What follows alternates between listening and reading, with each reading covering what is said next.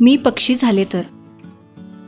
सुट्टीच्या दिवशी संध्याकाळी सूर्यास्त पाहण्यासाठी मी नदी किनारी गेले. नदी संथ वाहत होती. सभोवताली हिरवीगार झाडे होती. निसर्गाचा आनंद घेत मी शांत बसले होते. बघता बघता माझे लक्ष वर निरभ्र आकाशात गेले. तर आकाशातून पक्ष्यांचा थवा जात होता. ते पक्षी एकसारखे एकाच दिशेने जात होते. ते पाहून मला पक्ष्यांचे खूप कौतुक वाटू लागले.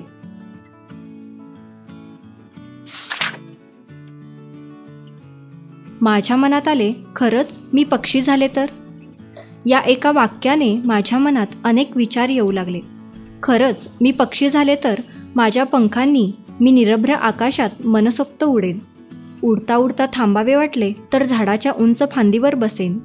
उंच फांदीवर बसून सभोवतालच्या सुंदर निसर्गाचा मनमुरात आस्वाद घेईन. भूक लागली तर झाडावरची फळे खाईन.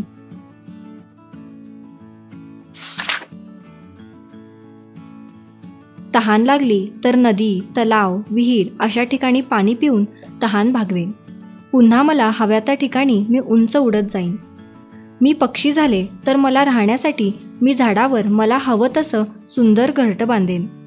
त्या घरट्यात मी राहीन.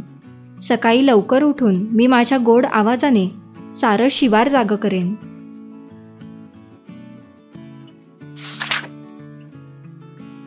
उंच डोंगर दरीतून मी फिरेन. आकाशातून मुक्त संचार करत मी हजारो किलोमीटरचा प्रवास करेन. एकाच देशातून दुसऱ्या देशात जाईन. त्यासाठी मला पासपोर्टसुद्धा लागणार नाही. देशानुसार निसर्गात होणाऱ्या बदलांचा मी मनमुराद आनंद घेईन. त्यासोबतच निसर्गात होणाऱ्या बदलांचा मी जवळून अनुभव घेईन. मी पक्षी झाले तर मी इतर पक्ष्यांशी मैत्री करेन. त्यांच्यासोबत मी फिरेन.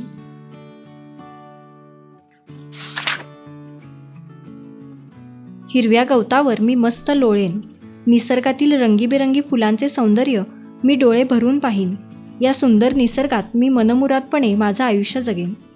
आज आपण पाहतो की मानवाने आपल्या मनोरंजनासाठी पिंजऱ्यात पक्ष्यांना कैद करून ठेवले आहे. मी असं पक्षी बनून पिंजऱ्यात कैद झालो तर माझ्या आयुष्याला काहीच अर्थ राहणार नाही.